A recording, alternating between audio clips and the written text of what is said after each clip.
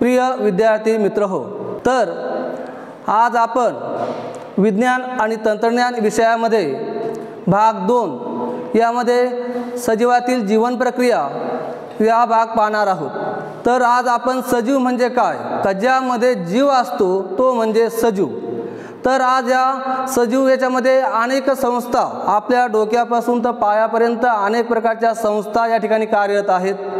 आणि या संस्थांमार्फत आपली जीवन प्रक्रिया चालते एकत्रित काम चालतं. तर यामध्ये पहिली जी संस्था आहे ती आहे पचन संस्था आहे. आता आपण खाल्लेल्या अन्नाचं रूपांतर विद्राव्य घटकामध्ये होणं आणि त्याचं रूपांतर रक्तामध्ये मिसळणं ते म्हणजे सॉरी पचन तर आपण नेक्स्ट म्हणजे श्वसन संस्था या ठिकाणी पाहणार आहोत. श्वसन संस्था सात्मीकरण झालेल्या अन्नापासून जी ऊर्जा मिळते त्या ठिकाणी तिला आपण श्वसन संस्था या ठिकाणी म्हणतो. तर श्वसन संस्थेची आकृती आपल्यासमोर या ठिकाणी दिसते. तर आज आपण त्याच्यानंतरची पुढची संस्था पाहणार आहोत. ती आहे रक्तविसरण संस्था. रक्तविसरण संस्था म्हणजे शरीरामध्ये रक्ताच्या साह्याने रक्ताच्या साह्याने वायू व घटक पदार्थ शोषून दुसऱ्या भागापर्यंत पोहोचवणे. या ठिकाणी आपण रक्तविसरण संस्था या ठिकाणी म्हणतो. या ठिकाणी हृद त्याची हृदयाची आकृती आपल्यापर्यंत दाखवलेली आहे. तर पुढं याच्यानंतर जी उत्सर्जन संस्था आहे नको जैव रासायनिक प्रक्रियेमध्ये नको असलेले घातक पदार्थ शरीराच्या बाहेर टाकणं म्हणजे उत्सर्जन संस्था आहे. आणि या ठिकाणी उत्सर्जन संस्थेची आकृती त्या ठिकाणी दाखवलेली तो आहे नियंत्रण संस्था आहे. त्या ठिकाणी मेंदू आणि मज्जारज्जूमार्फत या दोघांमध्ये समन्वय साधून या सर्व संस्था पचन संस्था रक्तविसरण संस्था उत्सर्जन संस्था श्वसन संस्था यांच्यामध्ये समन्वय साधण्याचं काम त्या ठिकाणी नियंत्रण संस्था त्या ठिकाणी करत असते. त्यानंतर आपण अन्नाचे स्रोत या ठिकाणी पाहणार आहोत. कर्बोदके प्रथिने मेद जीवनसत्वे असे या ठिकाणी स्रोत आहेत. यांच्यामार्फत तंतुकणिकेच्या मार्फत ऊर्जा मिळवण्याचं काम त्या ठिकाणी केली जाते आणि त्या ऊर्जा ही ऑक्सिजनच्या साह्याने आपल्या त्या ठिकाणी मिळवली जाते. तर आज आपण तो नेक्स्ट टॉपिक जो आहे आपल्या शरीरामार्फत पोषद्रव्ये आणि जीवनसत्व ही फार महत्त्वाचे आहेत. त्या ठिकाणी जीवनसत्वामार्फत आपल्या शरीराला ऊर्जा मिळते.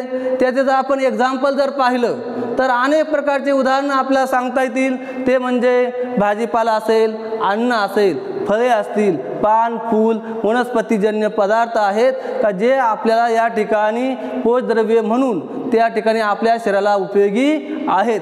तसेच आपण जर पाहिलं आदर याच्यामध्ये जर पाहिलं दूध फळे साखर भाजीपाला गूळ मका गहू नाचणी ज्वारी बाजरी धान्य बटाटे रताळ असे सर्व जे कयापासून आपल्याला कर्बोदके मिळतात आणि ह्या कर्बोदकापासून आपल्याला चार किलो कॅलरी या ठिकाणी ऊर्जा मिळवली जाते आणि ती ऊर्जा आपल्या शरीर बांधणीसाठी फार महत्त्वाची असते.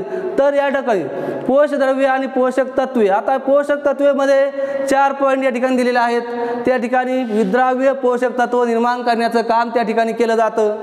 म्हणजे त्या ठिकाणी मिसळणं विद्राव्य म्हणजे द्रवामध्ये मिसळलेला भाग त्यानंतर रक्तामार्फत पेशीला पुरवठा करणं श्वसनातील ऑक्सिजन पेशीला पुरवणं. आपण घेतला नाकावाटे जो ऑक्सिजन आहे तो आपण पेशींना पुरवण्याचं काम या ठिकाणी केलं जातं. आणि आपल्या शरीराला खाल्लेल्या अन्नातून ऊर्जा मिळवण्याचं काम त्या ठिकाणी केलं जातं. जेणेकरून आपण एवढे पदार्थ खाल्ल्यानंतर आपल्याला आहार कसा घ्यावं? आहाराचं संतुलन कसं राखावं? जेणेकरून संतुलित आहाराचं महत्त्व काय आहे? कर्बोदके प्रथिने मेद जीवनसत्वे खनिजे शरीराची कार्य या ठिकाणी पार पाडतात. त्या घटकांचं प्रमाण आपल्या शरीरात योग्यरित्या राखलं जातं. त्या संतुलित आहाराचं महत्त्व या ठिकाणी राखलं जातं. त्याच्यानंतरचा जो नेक्स्ट टॉपिक जो आहे स्नायूंचं कार्य. आपल्या शरीरामध्ये स्नायूंचं कार्य या ठिकाणी फार मोलाचं आहे. ऐच्छिक स्नायू अनैच्छिक स्नायू. ज्या ठिकाणी ज्या स्नायूंवरती आपलं नियंत्रण असतं त्याला आपण ऐच्छिक स्नायू म्हणतो. आणि ज्या स्नायूंवरती आपलं नियंत्रण राहत नाही त्याला आपण अनैच्छिक स्नायू असं म्हणतो. आता याचं जर एक्झाम्पल पाहिलं ज्या स्नायूवरती नियंत्रण असतं अशा आपल्या शरीराचा संपूर्ण बॉडी हात पाय जे भाग आहेत त्याच्यावर नियंत्रण असतं. ऐच्छिक स्नायूचं उदाहरणं सांगता येतील. आणि अनैच्छिक स्नायू ज्यावर आपलं नियंत्रण असतं हृदय जठर लहान आतडे मोठे आतडे ते आपण सांगू शकतो. पाचक रस हा जर विचारात जर घेतला तर ज्या रसामध्ये पाचक रसामध्ये अनेक प्रकारचे विकर आहेत. आणि हे विकर उत्प्रेरकाची भूमिका बजावतात आणि त्याच्यामुळे आपलं अन्नाचं पचन या ठिकाणी अतिशय जलद होतं. आणि मोठ्या आतड्यातून स- आपल्या शरीरातील शरीरातील आम्लधर्मी त्या ठिकाणी तयार होतं. आणि आतड्यामध्ये आम्लधर्मी या ठिकाणी तयार होतं. तर मित्रांनो आज मी तुम्हाला सजीवातील जीवन प्रक्रिया ठिकाणी सम शिकवलेली आहे. तर बाकीचा जो पॉईंट आहे तो नेक्स्ट टाईम नेक्स्ट आपला पुढील तासाला या ठिकाणी